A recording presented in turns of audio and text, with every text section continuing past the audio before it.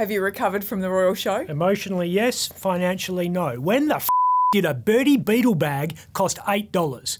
Was I looking at the right one? It was like a platinum edition or something. Bertie Beetles don't warrant precious metal status. That bag belongs in the shit part of the periodic table next to barium. Oh, dear. There's half a gram of cocoa in the whole thing. It barely meets the definition of chocolate. Bertie Beetles are made out of sugar and sand. Stop! He's already dead. A Dagwood dog is now eight dollars. Eight bucks for the bits of the animal nobody else wanted, moulded into the shape of a dick and put on a stick. Eight dollars. You don't even really ever own it. You rent a Dagwood dog. It's designed to be in the human body for a maximum of eight minutes. Sounds lovely.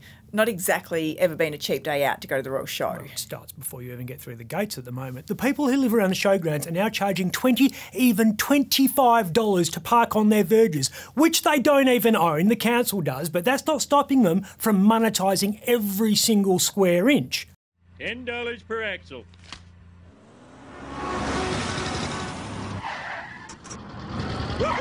There's something wrong about the Claremont Chardonnay set rinsing lobsters from Balga's bourbon drinkers. If you work for the ATO and you're watching this, you need to audit every household within a five minute walk of the showgrounds. They get a free fireworks display every night, so they may as well pay some tax on the profits.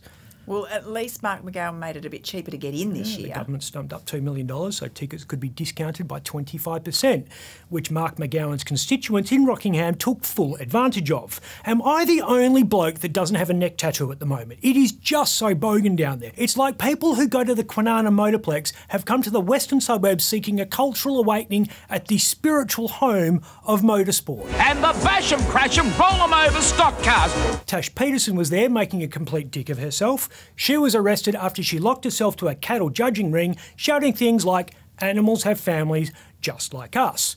Her message didn't get through to the family I saw in one of the ag pavilions looking at the cute piglets while sucking on double fried pork knuckles. Oh no. Oh no. Literally patting a piglet while inhaling its mum.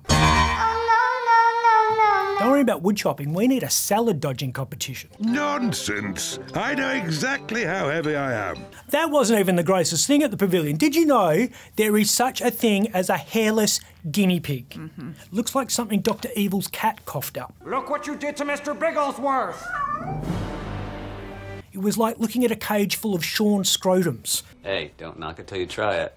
I don't know how the average royal show visitor makes their money. Actually, I do. But my God, they can spend the cash. You used to see people hanging show bags off the pram. Remember that? Now they actually bring in separate pull along trolleys to load up. A couple of years from now, they'll be driving the Ford Ranger and the Hilux down Sideshow Alley. Mm, hold on to your wallet there. Oh my God, isn't that like a mafia shakedown? It's like Boardwalk Empire comes to the Golden Triangle once a year. I take the risk out of it. How do you manage that? By rigging the game, of course. Rides are now 12 bucks. Fucking carnies. Circus folk. Nomads, you know. I timed the ghost train, it lasted 45 seconds. I don't even know why you bother paying. If you want to be scared by some freaks, just stand in the line for two minutes. Smell like cabbage. You know those machines where you put 20 cents in and then it spills down and then pushes the other 20 cents out? That's now $1. And the coins never drop. That's got to be prima facie evidence of a crime.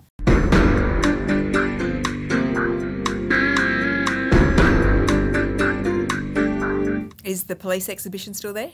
Well, it wasn't open by the time we got there, unfortunately. So I didn't get to see the kids of the Mongols bike. He's tormenting the police cadet who drew the short straw and had to be constable care for the day. Now, would you both like to help me do some of my police work? Well, would we? Yeah, but I think it's a good thing that the police cadets are part of the show. Yeah, I saw one of them. I'm not joking. He looked 12. Fortunately, we aren't going to need any smart, experienced cops anymore because we're passing new laws that will prevent violent thugs from being violent thugs. Actually, that's not true. We're passing new laws that will allow us to ask violent thugs not to be violent thugs in certain nightlife areas. But if they choose to anyway, there's really nothing we can do about it because the new laws are largely ungovernable. Well, exactly. How is a cop on the beat going to know who shouldn't be Well, there? they won't. But the death of Giuseppe Raco in 2020 put the heat on the government to do something.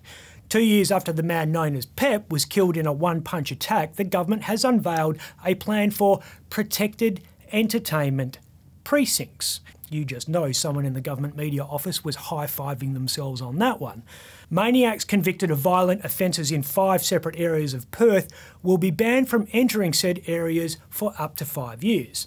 Problem is, there are only a few hundred cops on the beat in those areas compared with tens of thousands of people doing things like this.